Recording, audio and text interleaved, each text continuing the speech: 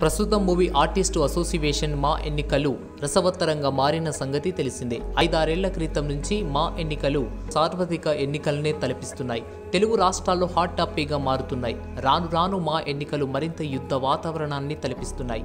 ఒకప్పుడు మా అధ్యక్షుడి ఎంపిక ఏకగ్రీవంగా జరిగేది. కానీ ఇప్పుడు పరిస్థితి ఎక్కడ కనిపించట్లేదు. పోటీదారుల మధ్య నువ్వా నేనా అన్నంత పోరు నడుస్తుంది. ఈసారి అక్టోబర్ పదిన జరిగే ఎన్నికల్లో ప్రధానంగా ప్రకాష్ రాజ్ మంచు ప్యానల్ మధ్య పోటీ నెలకొన్న సంగతి తెలిసిందే. ఆ సంగతి పక్కన పెడితే మా చరిత్రలోకి ఒకసారి వెళ్దాం. మాది పాతికేళ్ళ చరిత్ర. నటీనటులకు సంబంధించిన సమస్యలు వివాదాల పరిష్కారం సంక్షేమం కోసం ఏర్పాటు చేశారు. సినీ పరిశ్రమ మాని ఏర్పాటు చేసింది. అక్కినేని నాగేశ్వరరావు కృష్ణ కృష్ణంరాజు లాంటి పెద్దల సమక్షంలో మా ఏర్పాటు జరిగింది.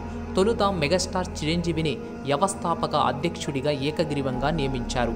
ఏఎన్ఆర్ కృష్ణం కృష్ణంరాజు మురళీమోహన్లు సలహాదారులుగా ఉన్నారు. ఆ తర్వాత రెండేళ్ళ పాటు మురళీమోహన్ నివాసంలోనే మా కార్యకలాపాలు కొనసాగాయి. ఆ తర్వాత ఫిలిం నగర్లోని రామానాయుడు నిర్మించిన సొసైటీ భవనంలోని ఓ గదిలో పంతొమ్మిది వందల తొంభై మూడు అక్టోబర్ నాలుగున అసోసియేషన్ కార్యాలయాన్ని ఏర్పాటు చేశారు.